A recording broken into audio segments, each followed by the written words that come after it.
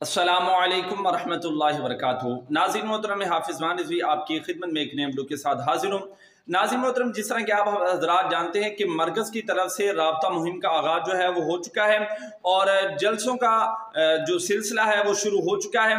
अलामा साद हुसैन नजी साहब मुख्तलिफ़ मकाम पर जलसे जो हैं वो कर रहे हैं। नाजिम मोहतरम, इसी हवाले से आपको बताता चला जाऊँ कि इक्कीस मई को भावलपुर के अंदर भी जलसा है और इस हवाले से प्रेस कॉन्फ्रेंस भी हुई है। डिवीज़न भावलपुर और जो डिवीज़न मुल्तान है, उनकी और नाजिम मोहतरम उन्होंने अपनी प्रेस कॉन्फ्रेंस के अंदर जो है ये बात वाजे की है कि मरकज़ की तरफ़ से भी यही पैगाम है कि जो इर्द गिर्द के लोग रहने वाले हैं वो इस कॉन्फ्रेंस के अंदर जो है वो ज़रूर शिरकत करें और कॉन्फ्रेंस जो है इनशाला एक तारीखी कॉन्फ्रेंस जो है वो साबित होगी और लोगों को बताया जाएगा कि जनाब तहरीक लब्बैक पाकिस्तान की जो है वो पावर क्या है।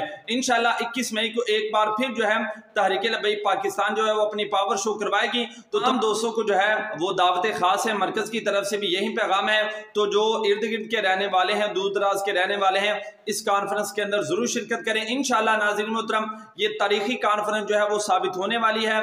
तो हमारे चैनल से इनशाला इस कॉन्फ्रेंस के मनाजिर भी आपके साथ जो है वो शेयर किए जाएँगे। तो आप हमारे चैनल के साथ जुड़े रहिए। अभी आपके सामने वो ऐलान रखता हूँ कि जो उन्होंने किया है आप खुद जो है वो मुलाजा फरमा लें। जनूबी पंजाब भावलपुर और मरकज़ की तरफ़ से ये पैगाम है कि जितने भी दोस्त अहबाब और जो भी मतलब दूर नज़दीक है वो इसमें शिरकत करें और जो इस जलसे को तरीकी जलसा बनाए और बताएँ दुनिया को कि जो खत लेकर फिर रहे हैं गली गली में कि वो और है और हजूर के गुलाम और है।